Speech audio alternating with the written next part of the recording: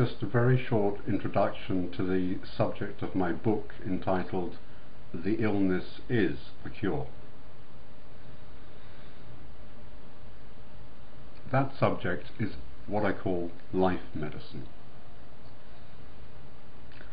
Building on the work of pioneers such as Victor von Weizsäcker, Medard Boss, Martin Heidegger, Arnold Mindell, and others, what I call life medicine is, I believe, the most fundamental revolution in our understanding of health, illness, and the human body itself that has ever been risked. Why? Well, one reason is that life medicine dares to suggest a connection between the life of the human body and life itself by which I mean the real everyday life, life relationships and life world of the patient as a human being.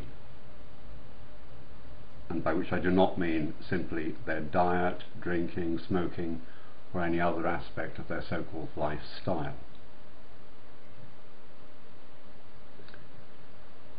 Illnesses are not like lightning that strikes out of the blue. A key message of my book is that people get ill at specific and often highly significant times in their lives and in a specific biographical, social, economic and relational context. That is to say, a specific life context. That is why life medicine does not just look for so-called causes of illness in fact, it completely rejects all causal accounts or explanations of illness, whether mainstream accounts or accounts from different varieties of alternative medicine. Instead of looking for causes, it looks at the biographical and social contexts in which illnesses arise and explores the individual and social meaning of a patient's illness in these life contexts. That is why it is called life medicine.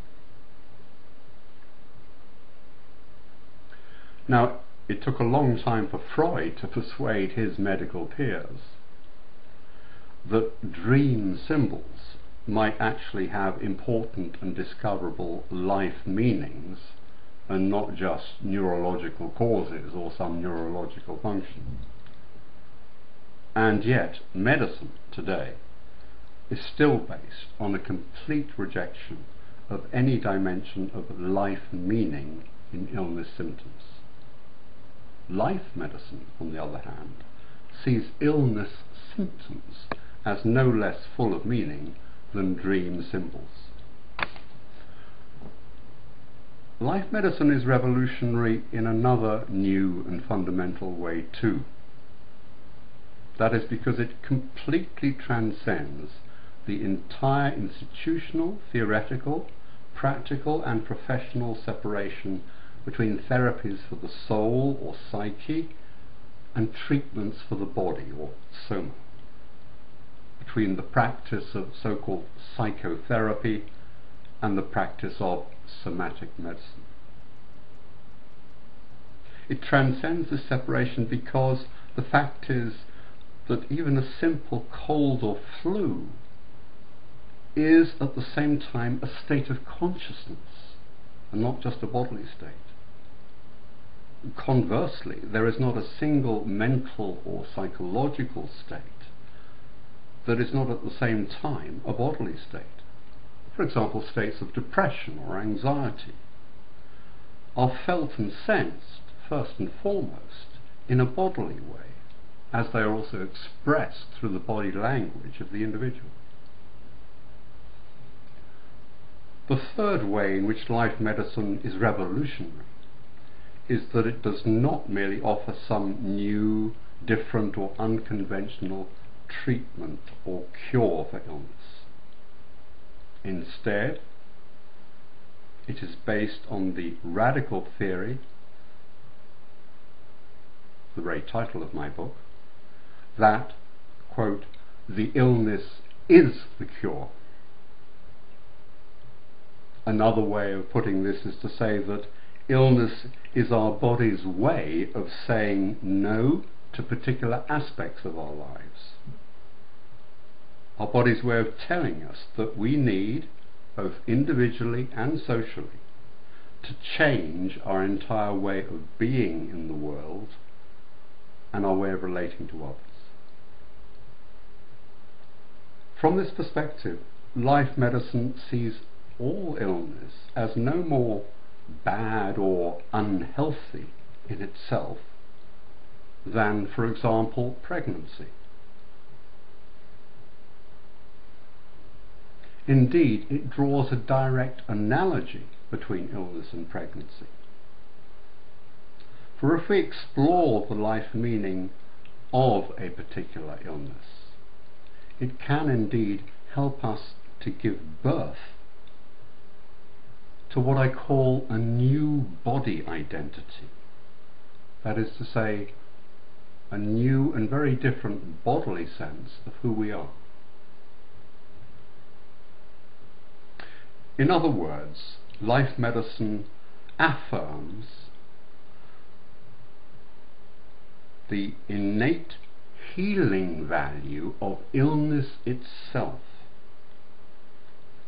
In contrast, conventional biological medicine sees illness as something basically bad and pays no attention whatsoever to the potentially life-giving and life-enriching meaning of illness symptoms. Instead, medical research simply looks for ways to get rid of illness symptoms. And instead of understanding illness in the way life medicine does, as a form of pregnancy, it is as if medicine sees the symptoms of pregnancy itself as symptoms of a dangerous illness, which to a large degree it does. An illness for which the only cure is abortion or termination. By denying the innate life meaning of illness, medicine is essentially life negating and in no way life affirming or protecting. It is essentially anti-life. It is perhaps, therefore, no surprise that in America alone, medical treatment itself has been responsible for more deaths than all the wars ever fought by America.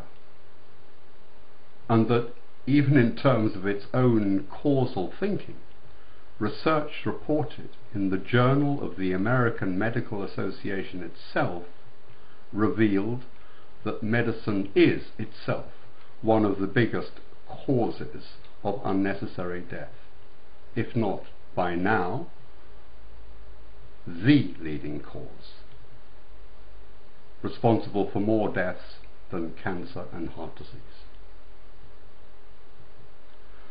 A medical philosophy whose treatments make people sick and which even kills surely needs questioning. The problem is that neither mainstream nor so-called alternative medicine question their own basic philosophical assumptions. Assumptions which separate the life of the human body from the life of the human being which separate biology from biography and which also separate the sicknesses of individuals from the sickness of society and of our world and planet as a whole. Long ago, Karl Marx recognized that capitalism alienates the worker from his or her own body, which becomes simply a means of production to be used like a machine in the interests of corporations.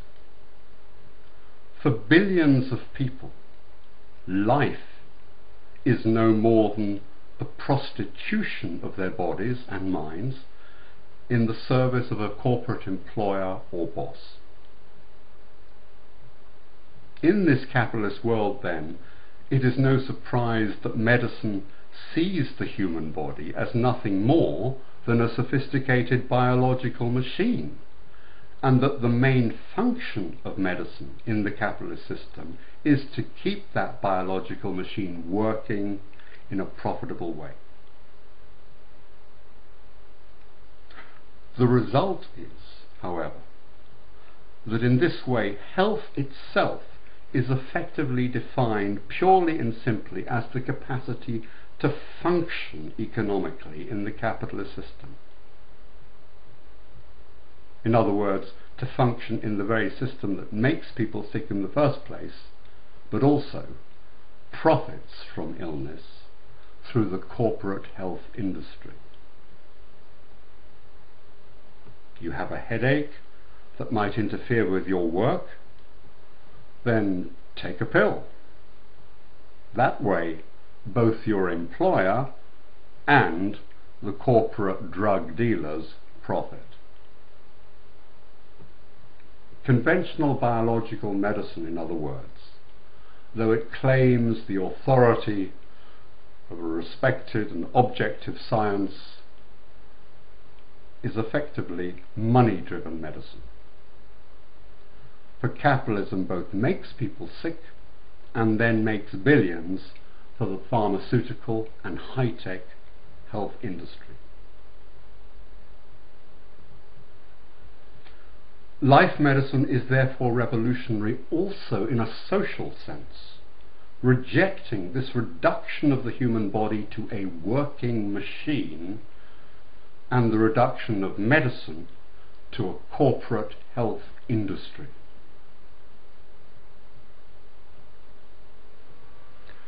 Now, the practice of what I call life medicine is something I term life doctoring and a practitioner of life doctoring is what I call a life doctor, with the emphasis on life, a life doctor. Life doctors offer a form of counselling for both chronic and serious illness. The methods they employ are very different from those employed by conventional doctors, but require even more knowledge and skills than those of a conventionally trained doctor. But these are knowledge, this is a knowledge and these are skills of a wholly different type, not merely technical skills, but human skills.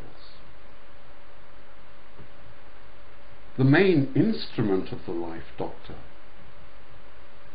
does not consist in any instruments of measurement or testing Instead, the main instrument of the life doctor is their own body, by which I mean their own bodily self-awareness and their own deep bodily sensitivity to what I call the patient's lived or felt body, which is the body as the patient feels, experiences, and relates to it from the inside. Ordinary doctors, on the other hand, are paid simply to diagnostically frame a patient's words and experience in terms of a pre-established medical body of knowledge. To do so, they need only look at the patient's body from the outside. For even in so-called internal medicine, when the patient's body is scanned or surgically opened up, for example, it is still only looked at from the outside. How the patient, himself or herself, experiences their own illness or disease, their stress or distress, is something of insignificance to the conventionally trained doctor. The conventionally trained doctor does not ask any questions about the patient's life at all and so naturally no connection is ever made between a patient's illness and their life. The life doctor, in contrast, asks first of all about the patient's life and the events or experiences that might, for example, have preceded the beginning or onset of a symptom or illness. The life doctor is also a doctor trained to not only sense and respond to the patient's own inward human experience of their body and its symptoms, and to do so in a human way rather than a mechanical way. The life doctor is also trained to place a patient's illness in the larger context of their personal lives and life history as a whole, their personal life world as a whole, and indeed our sick global world as a whole. In this sense, life medicine gives a new and truly revolutionary meaning to the word holism in medicine. Thank you.